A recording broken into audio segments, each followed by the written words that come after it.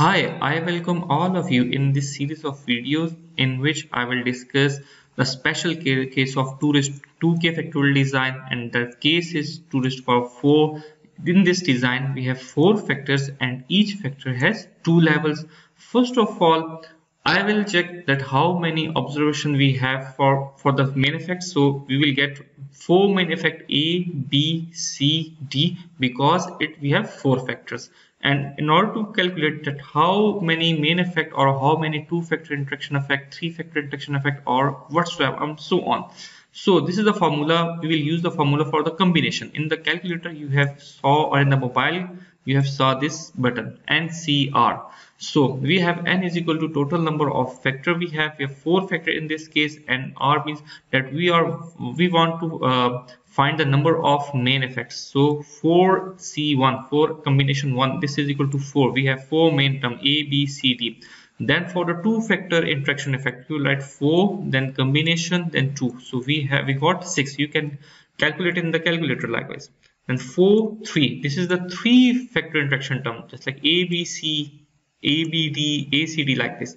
And now this is equal to again 4 and then the last term the highest factor interaction 4 factor interaction terms. We will write 4c4 and this will be equal to 1 because we have only one term. The general approach for the statistical analysis of factorial design is the first step is estimate the factor effect in order to calculate the effect first of all we will find the contrast the contrast has been discussed in detail in earlier two series of the videos for 2 raised to power 3 design and 2 raised to power 2 design. You can see the how to make the contrast in that videos.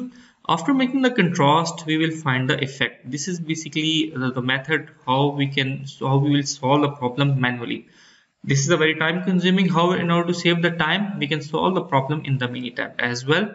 After after finding the contrast and the effect, we will then find form the initial model. Initial model consists of sum of square.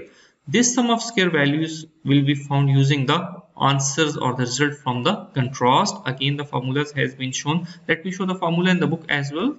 This is the general formula for the contrast. So sum of square is equal to contrast whole square divided by 8 and this 8 has, is used uh, for 2 raised to power 3 factorial design. The formula for the effect is contrast divided by 8n where 8 is the number of term with the positive sign and the number of term with the negative sign.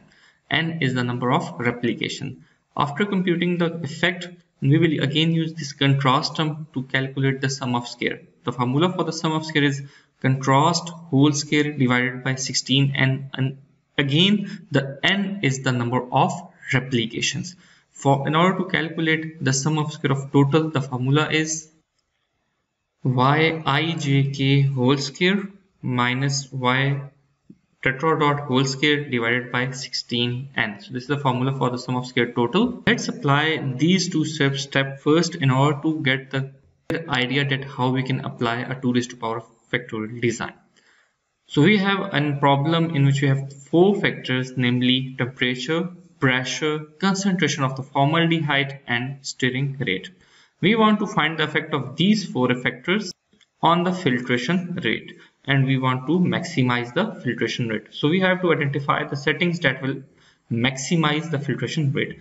Currently we have the filtration, uh, filtration rate of 75 gallon per hour. So this is the problem of single replicate of 2 raised to power 4 factorial design.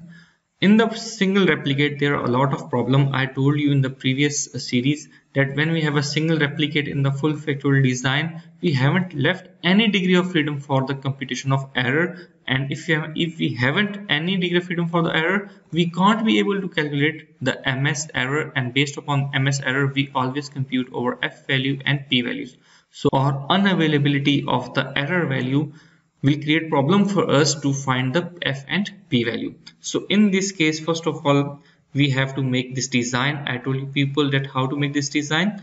In the first column you will always insert minus then plus then minus then plus and you will have to do it for the 16 term because 2 to the power 4 is 16 after that in the second column use minus 2 minus then 2 plus then 2 minus then 2 plus. In the third column then double it. 4 minus 4 plus then 4 minus 4 plus.